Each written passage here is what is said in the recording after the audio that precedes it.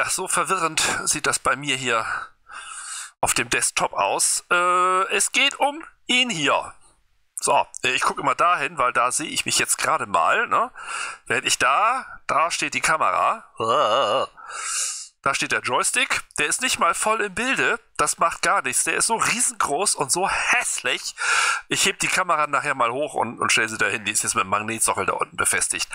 Äh, ich wollte euch zeigen, was ist das? Also, zunächst mal Force Feedback. Ford Force Feedback, das war immer so das, äh, ich kenne Force Feedback hier vom Lenkrad. Ich habe hier gerade eins angeschraubt. Seht ihr, ah nee, könnt ihr hier auf der kleinen Kamera unten in der Ecke sehen. Ne, da habe ich jetzt gerade das Lenkrad wieder angebaut, weil ich habe den äh, Yoke jetzt gerade abmontiert, weil ich fliege jetzt ja mit Joystick, weil ich ja Force Feedback im Joystick habe. Und ein Force Feedback im Joystick ist viel billiger als Force Feedback im Yoke. Und ich muss jetzt erstmal rausfinden, ob ein Force Feedback in einem Joystick für mich besser ist als kein Force Feedback in einem Yoke. Ja, ich weiß, es ist verwirrend. Ihr müsst auch zwischen diversen Kameraperspektiven wählen. Eine kommt von hier hinten, eine kommt von da vorne und eine kommt hier von der Seite. Ja, das Ding verschwindet gleich, dann sehe ich mich selber nicht mehr. Das ist aber auch nicht weiter schlimm, weil ihr seht ja die ganzen Kameraperspektiven weiterhin. Also, so, der muss auch weg. Jetzt haben wir hier also ein Flugzeug. Ihr seht, ich habe heute mal kein Head-Tracking aktiviert, weil wir brauchen es nicht. Na, kann ja also mit der Maus heute mal alles machen. Ja, Joystick. Warum überhaupt? Ähm, Videos über die Sidewinder gibt es erstaunlich wenige. Und äh, die reichen allerdings völlig aus, dass ich nicht auch noch irgendwie einen, der sieht so aus und der hat folgende Knöpfe und überhaupt ist der sehr schick, was er übrigens auch gar nicht ist. Er ist pottenhässlich. Das Ding ist irgendwie ein Design von vor 20 Jahren und er wird auch seit gut und gern 10 Jahren gar nicht mehr hergestellt. Aber er wird bei eBay für praktisch nicht unter 100 Euro gehandelt. Und er wird gut gehandelt. Also es ist nicht so, dass es keine mehr davon gäbe. Es gibt sie noch, aber nur noch gebraucht. Und die Leute reißen sich offensichtlich darum. Äh, ja, anscheinend gibt es ansonsten keine ähnlich bezahlbaren Joystick. Also um die 100 Euro muss man für so einen albernen Joystick rechnen. Klack, klack, klack, klack. Ja, ihr seht, ein zufälliger Zusammenhang zwischen Joystick und einem anderen ist. Was ist ein Force Feedback Joystick? Also wer sich mit einem Force Feedback, Force Feedback Lenkrad schon mal rumgeschlagen hat, der weiß, das ist ein Unterschied wie Tag und Nacht. Wenn ich einen Motor anwerfe, dann fängt das Lenkrad schon an zu rappeln. Und zwar nicht so bzz, bzz, wie beim PS4-Controller, wo so ein kleines ungewichtiges Motörchen loslegt, sondern der knallt dir die Hände von rechts nach links. Da ist richtig Power drin. Deswegen hat dieser Joystick auch einen Stromanschluss. Also einen richtigen Netzstecker. Weil da sind schon Kräfte am Werken. Vielleicht nicht ganz so viel bei mir bei meinem Force-Feedback hier äh, Lenkrad, aber auch im Joystick geht was. Äh, es ist jetzt nicht so die Offenbarung, wie ich es normalerweise vielleicht äh, erwartet hätte, weil beim Lenkrad hat es mich total umgehauen. Aber immer noch, es gibt riesige Unterschiede. Ähm, Force-Feedback Joystick oder nicht. Ich erzähle euch jetzt erstmal alles, was ich fühle. Vielleicht mal ganz wichtig vorweg, als er hier endlich ankam und ich ihn angeschlossen habe, stellte ich fest, X-Plane 11 unterstützt keine Force Feedback Endgeräte. Na toll. Dann habe ich irgendwann mal nachgelesen, weil mir war so, als hätte ich genug Leute mit irgendwie Force Feedback auch bei X-Plane gesehen bei YouTube. Und tatsächlich gibt es ein Plugin, also Payware, das äh, 10 Minuten in der Testphase läuft und dann muss man es sich für 10 britische Pfund erwerben. Ich habe es ausprobiert. Oh ja, funktioniert. Auch bei X-Plane 11, obwohl es wahrscheinlich für 10 irgendwann mal geschrieben wurde. Und ich habe es auch für 10 äh, euronische Goldrandtaler, bzw. 10 Pfund käuflich erworben, weil ich mir gesagt habe, sie haben es, ich brauche es. Das sollen mir dann die 10 Pfund auch wert sein. Die bieten schließlich eine Gegenleistung dafür. Funktioniert auch sehr schön. Ich kann euch jetzt leider nicht das Plugin zeigen, hier also so die Settings, weil da wird meine Seriennummer eingeblendet. Und äh, so locker man Seriennummer noch sehen kann, das ist zufällig meine und ich möchte nicht, dass die bundesweit die Runde macht. So, ich würde sagen, wir fliegen jetzt mal los und ich erzähle euch, was passiert. Äh, erstmal gar nichts. Also ihr seht hier, es gibt keine Sprungfeder, die das Ding in der Mitte hält. Und das ist auch der größte Vorteil dabei. Boah, so. Wenn ich jetzt, hier vorne ist eine Lichtschranke drin. Wahrscheinlich eine Infrarotlichtschranke. Wenn die nicht gedrückt ist, kriegt er auch keinen Strom, spart Energie. Wenn ich jetzt hier anpacke oder auch nur mit einem Finger hier das Loch abdecke, dann äh, lässt er sich kaum noch bewegen, beziehungsweise jetzt im Moment fällt er nach vorne. Also ich drücke ihn nicht mit dem Finger nach vorne, sondern er fährt deswegen nach vorne, weil der Motor ist ja noch aus. Das äh, Höhenleit hinten hängt einfach runter und zieht damit Yoke oder Joystick logischerweise nach vorne. Das ist also völlig korrekt. Wenn ich jetzt die Maschine anschmeiße, so, ihr hört jetzt nichts vom Motor, das ist auch richtig. Nein, es könnte sein, dass ihr was vom Motor hört, aber ich nicht, weil ich habe den Stecker vom Kopfhörer gar nicht reingestöpselt. Ich brauche ihn jetzt im Moment nur wegen des äh, Dings. E egal. Wenn ihr einen Motor hört, ist gut. Wenn ihr keinen hört, ist auch gut. So, jetzt gebe ich mal tüchtig Gas. Ich drücke nicht am äh, Joystick, sondern ich halte wirklich nur den Finger drauf. Ja, ist doch klar. Der Motor zieht an und das, der Wind drückt hinten das Leitwerk hoch, also kommt der Joystick entsprechend mit. Dass er jetzt rappelt, nicht daran, wir rollen hier rum. Ja, und jetzt rollen wir auch von der Startbahn runter, deswegen wird der Untergrund ein bisschen äh, ruppig. Äh, ich versuche jetzt mal, ach, ich habe ja sogar Pedale unten angeschlossen. Ich versuche jetzt einfach mal zu starten. Ob ihr Ton hört, weiß ich nicht. Ich kann es nicht sagen, wenn nicht, so be it. So, jetzt merke ich den Druck nach hinten. Na komm, starte. Mal gegensteuern. Ja, jetzt äh, klappern wir hier über holperigen Fußboden. Ist immer weniger, weil die Mühle wird immer leichter. Jetzt haben wir 60 Knoten drauf. Jetzt, jetzt merke ich, jetzt ist sie fast, fast ohne Bodenkontakt. Jetzt kommt sie hoch. So, und jetzt gibt es auch kein Gerüttel mehr im Joystick. Was es jetzt gibt, ist ähm, der Winddruck der Flächen gibt mir jetzt Gegendruck. Also wenn ich jetzt steuere, dann habe ich rechts und links Druck auf den Flächen. Durch Vor- und Rückwärts genauso. Das ist einstellbar, ne, wie steif man das haben will. Es ist nicht so, dass ich wie bei einem normalen Joystick eine Mittelstellung habe, also wo irgendwie alle Sprungfedern auf Null sind, sondern hier wird der Druck ausschließlich durch die Software bestimmt. Wo, wo bin ich? Auch zum Beispiel, wenn ich jetzt ein bisschen Gegendruck geben muss, um gerade zu bleiben, heißt das, ich müsste normalerweise trimmen. Habe ich hier Trim? Ja. Ich trimme jetzt einfach mal nach vorne. Schon auf den Joystick gelegt, oben aufs Hütchen. Und jetzt kann ich fast loslassen, ne? Ja, jetzt äh, bin ich praktisch für diese Geschwindigkeit ausgetrimmt. Ich habe die Hand jetzt nur noch hier dran, ich kann sie auch wegnehmen. Nur wenn ich jetzt, äh, na, der, der Joystick ist jetzt quasi ausgeschaltet, wenn ich jetzt nach vorne tippe, fällt er nach vorne und die Mühle schmiert ab. Nehme ich ihn wieder in die Hand, haut er mir sofort wieder in die Handfläche zurück und sagt, da ist die Mittelstellung. Im Moment jedenfalls ist sie da. Seht ihr dieses Nachschaukeln der Hand? Das macht nicht ich, das macht der Joystick. Entweder ist der Joystick einfach, also relativ hart eingestellt und federt selber zurück, oder es ist der Winddruck der Klappen, der mir jetzt so reinfedert und er gibt das nur wieder. Ja, vorwärts und rückwärts passiert das eigentlich eher nicht. So. Ähm, was ich nicht habe im Joystick ist Motorgebrummel. Also der Motor brummt und brummt, da kommt am Joystick leider nichts an. Ich habe auch keine Einstellung gefunden, die Motorgebrummel äh, übernehmen würde. Und was ich auch nicht habe, ist, wenn ich jetzt auf äh, Wolkenbruch und Windesföhn und äh, generell Unwetter schalte, dann würden ja normalerweise die Windböen, die mich ständig umtosen, würden ja auf die Flächen wirken. Das gibt er nicht wieder, zu meinem großen Leidwesen. Das heißt also, dass er nicht das wiedergibt, was beispielsweise ein Force Feedback Lenkrad beim LKW-Fahren wiedergeben würde. Ähm, ich habe es ausprobiert äh, FSW läuft ab Werk auch nicht mit Force Feedback. Ähm, der Aerosoft 2, wie heißt der noch? Doch, Aerosoft Flight Simulator 2, ne? Auch nix. Ausgerechnet der FSX, das meiner Meinung nach schäbigste Ding seit Erfindung des Flugsimulators. Ich weiß, viele heulen wieder auf. Man muss nur 95 verschiedene Plugins reinbauen und schon, schon sieht es recht nett aus. Mache ich vielleicht auch irgendwann mal, einfach um es auszuprobieren. Der ist ab Werk, macht der äh, Force Feedback. Aber soweit ich verstanden habe oder gefühlt habe, auch nicht mehr. Also der gibt mir auch keine Turbulenzen oder kein Motorgedröhnen auf dem äh, Joystick. Vielleicht ist das einfach nicht vorgesehen, ich weiß es nicht. Ähm, ich weiß, wo das X-Plane 11 war mal eingerichtet auf äh, Force Feedback, allerdings die Version 9.3 oder sowas. Und danach haben sie es dann abgeschafft, vielleicht weil es keiner braucht, weil Force Feedback zu teuer ist. Ich meine, so ein Force Feedback Yoke fängt ja unter 1.5 praktisch nicht an. Dann ist es aber zugegebenermaßen auch schon gleich ein recht guter.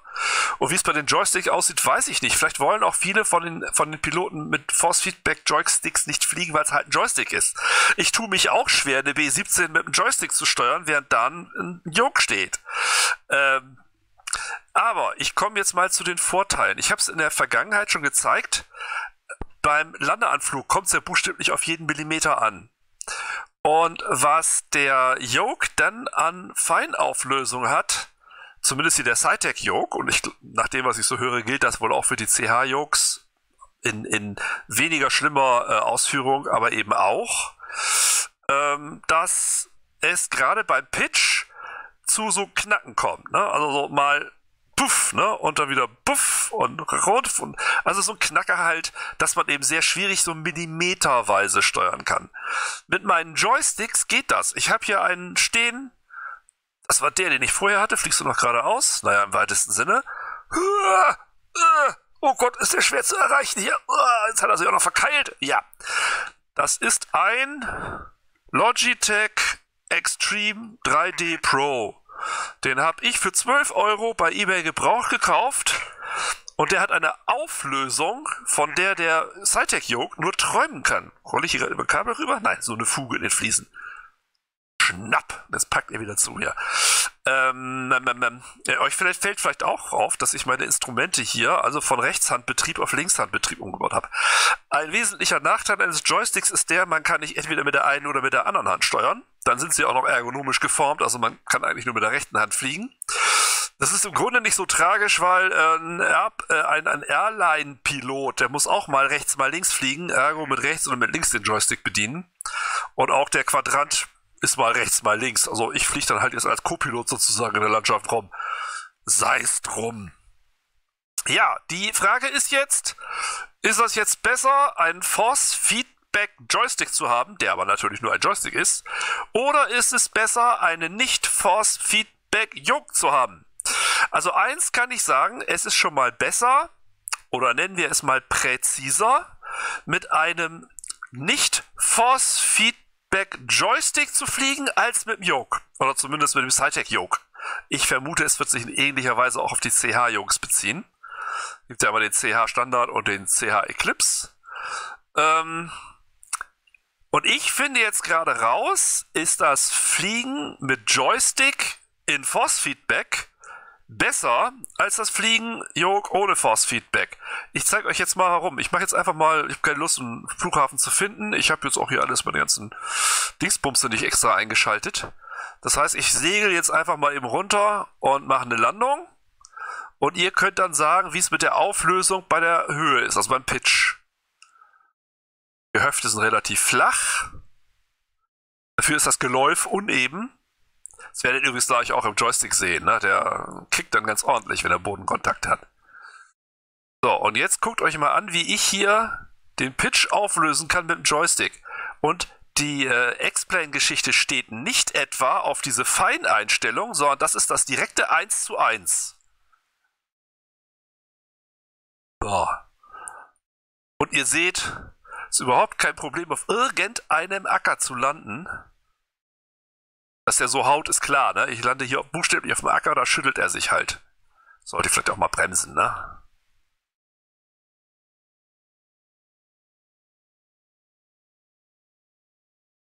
Oh. Ja, auf so äh, Grünzeug lässt es sich halt schwerer bremsen als auf einer Piste, deswegen braucht er hier ein bisschen länger. Und ihr merkt, ich, ich merke hier jede Ackerfurche. Das schüttelt halt tüchtig. So. Die Steuerung mit dem Joystick ist deutlich präziser. Ja, guten Joystick vielleicht, ich weiß es nicht. Ich habe da wenig, wenig Vergleichsmöglichkeiten. Äh, mit einem guten Joystick, auch mit dem Logitech, ist um ein Vielfaches genauer als die mit dem Cytec Yoke. Das Problem ist jetzt, ich habe mir den äh, CH Eclipse Yoke angeguckt, der soll im Pitch deutlich besser sein. Der soll aber an anderer Stelle wieder Probleme machen. Ein richtig guter Yoke ohne Force Feedback liegt denn auch schon wieder also ich glaube, unter 600 Euro braucht man gar nicht gucken. Man muss eher 800 bis 900 Euro für einen ordentlichen Yoke rechnen. Da setzt bei mir so der Punkt ein, der sagt, also wenn ich für eine 100, für einen Huni einen präzise arbeitenden Joystick mit Force Feedback kriege, dann sehe ich noch nicht so wirklich ein, dass ich äh, fast 1000 Euro für einen normalen Yoke ausgebe, geschweige denn 1500 für einen äh, Force Feedback Yoke. Ja, ja, ich denke mal, äh, wir fliegen die Kiste jetzt einfach mal eben hoch und ich schalte auf Autopilot und dann zeige ich euch das mit der Kamera noch ein bisschen genauer. Dazu muss man, glaube ich, diesen Hebel drücken oder noch auf einen anderen Hebel drücken und dann fängt das Ding an zu fliegen. Oder so. Behaltet den, ich, ich mache mal nur den Finger drauf hier.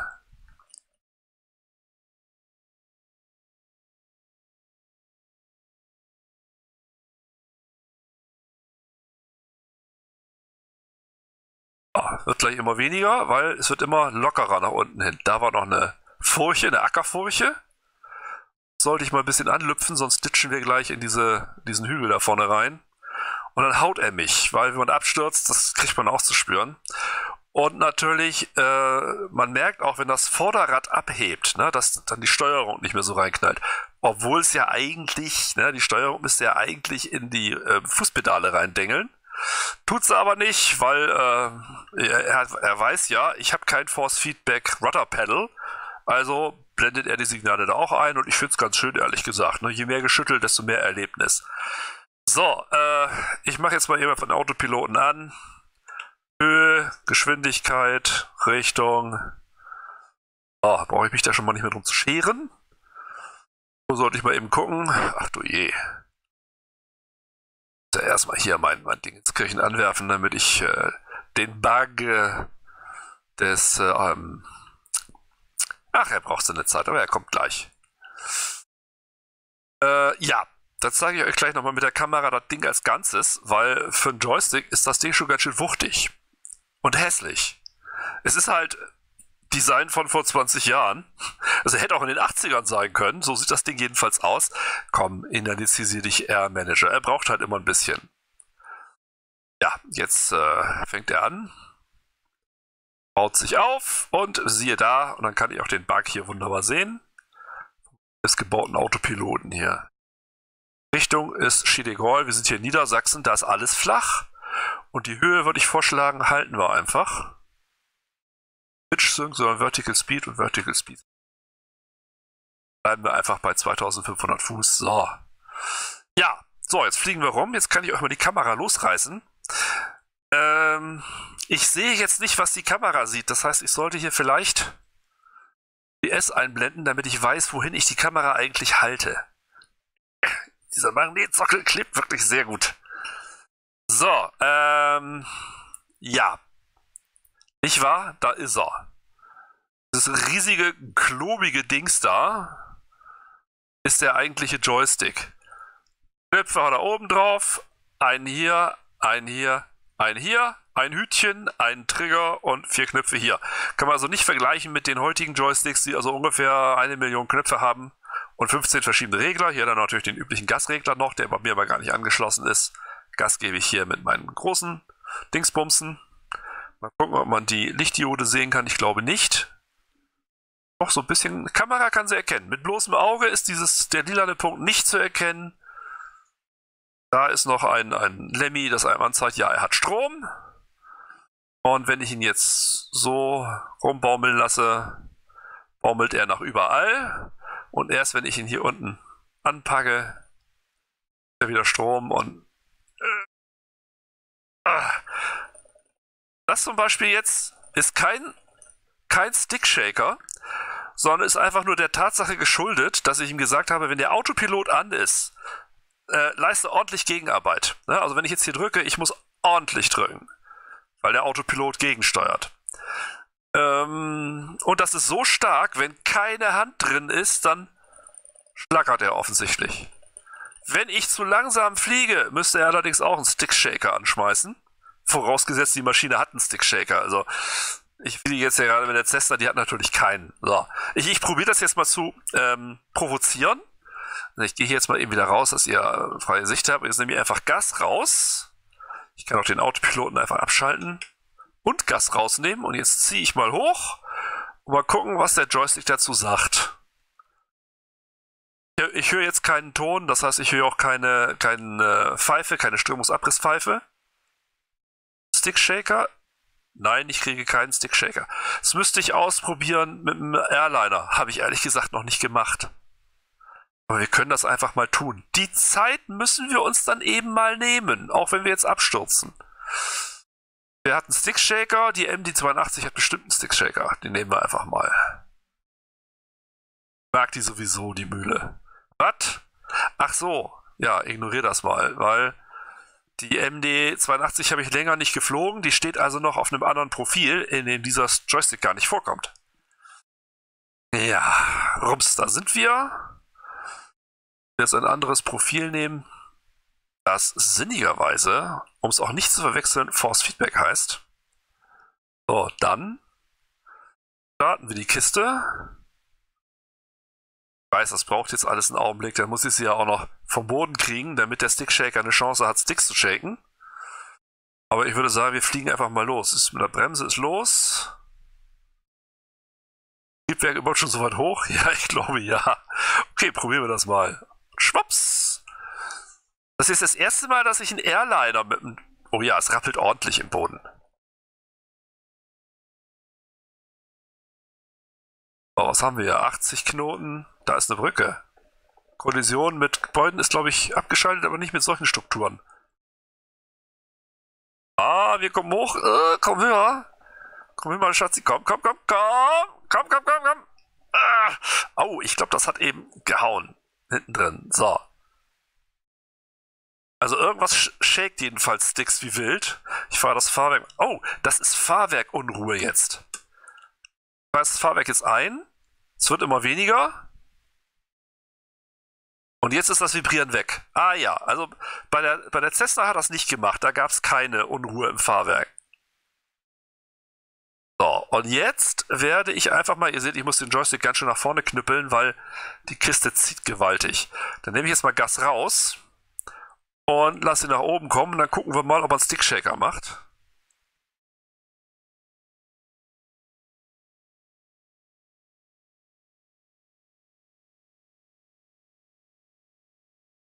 Oh, 160, 150, 140, 130, 120, 110, 105.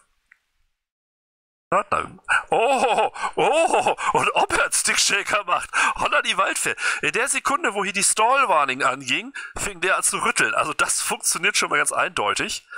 Dann gebe ich jetzt mal ordentlich Gas, knüpple das gute Stück nach oben bisschen Höhe gewinnen. Und dann machen wir mal einen ungesunden Sturzflug und mal gucken, was er dazu sagt. Ob er anfängt irgendwann zu rütteln. Dass die ganze Kiste anfängt zu schlackern. Das ist immer etwas, was ich bei ähm, Flight Sim World sehr schön fand. Wenn man zu schnell wird, fängt die Mühle erstmal an zu rütteln und zu schütteln, bevor irgendwas abfällt. Während hier sagt er nur irgendwann, äh, ja, du fliegst zu schnell und dann puff, sind Teile weg und du bist tot. Ja, mal gucken, vielleicht macht der das ja auch hier. So, 5000 Fuß haben wir schon. Steiggeschwindigkeit ist sehr beruhigend. Ansonsten, ja, doch, der Druck auf den Flächen ist spürbar. Inwieweit das bei einem Flugzeug mit Hydraulik überhaupt normalerweise der Fall wäre, kann ich nicht sagen. Gehen wir jetzt mal in den Horizontalflug, um ordentlich Fahrt aufzunehmen bei Vollgas.